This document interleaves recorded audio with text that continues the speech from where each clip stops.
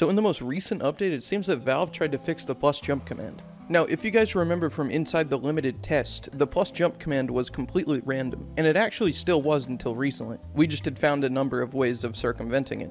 But if you weren't circumventing the random jump, your jump would have a variance of about 3 units, which is unnoticeable to the eyes most of the time, but it's going to make your game feel off. Well, not anymore, because in a recent update they seem to have fixed part of this jump command.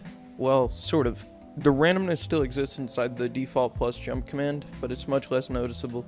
So on the new update, the height of the jump is way less random, which is great, but we haven't talked about the most important part of jumping, which is, uh, b-hopping.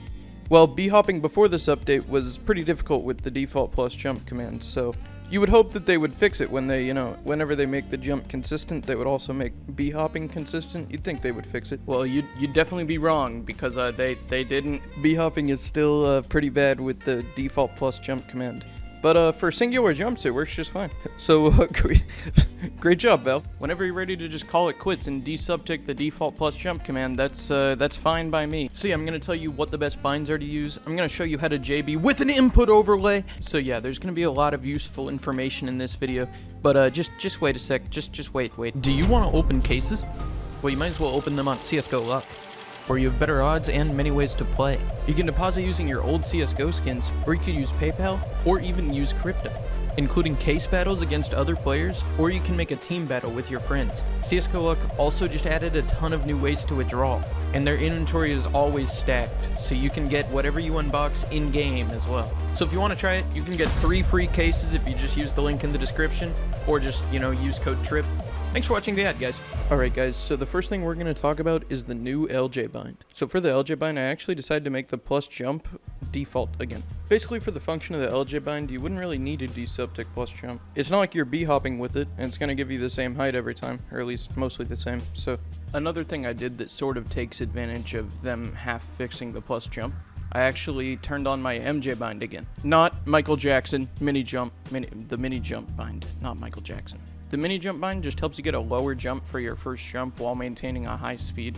The MJ bind is very good for bench to bricks or other stuff uh, similar where basically you don't get a lot of run up speed and you just need to land very early on something. So as you can see here, the MJ bind is helping us land much earlier on the bench and giving us much better pre-speed for the jump. The MJ bind will be available in the description. All you guys have to do to be able to MJ is just press left alt and then scroll wheel up. You guys should also know that MJ Bind is very helpful for B-hops. Uh, at least on CSGO, the world record B-hop was always with an MJ first.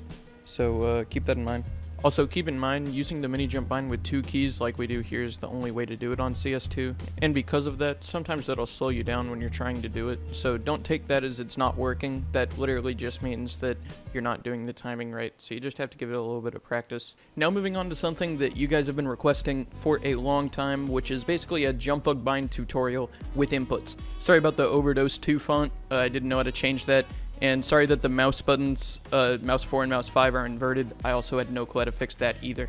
But besides the point, this thing is working, so hopefully you guys can use this to uh, gauge when I'm pressing the keys. And when it comes to the JB bind I'm using, it's on screen now, and of course it'll be in the description. Obviously you can use your eyes to see the inputs that I'm pressing, but all I'm really doing is I'm crouching and then I'm pressing the jump bug bind. Uh, cat to chair is probably the best place to practice it, but once you feel a little bit more confident, I recommend trying a few different routes because it's actually pretty common that people will think that they've learned jump bug when in reality all that they've learned is jump bug and cat to chair. So I recommend practicing here, just trying to learn this double jump bug. This double jump bug was actually impossible on CSGO, so it'll actually be pretty cool if you learn it. And once you have the timing of this double jump bug down, you'll be able to hit most of your jump bugs, I feel like. I slowed this down so maybe you'll be able to gain more information from it. Jump bugs in this update feel just about as consistent as they did before, which is pretty consistent. Uh, I can get this double jump bug about one in every 10 times, which is pretty good, and the jump bugs are feeling pretty consistent. And if they stay like this, I'll be happy. And before I go, I just want to cover what Valve is doing with pixel surfs. So instead of trying to fix this surf here, they actually just clipped it off. But uh, the, the funny part is that they didn't even clip it off right, so you can still get into the surf below it. So basically what we can infer from this is that Valve literally has no clue how the pixel surfs work right now. Uh, and uh, they're just going to try to patch them by adding player clips. So we'll see how that goes.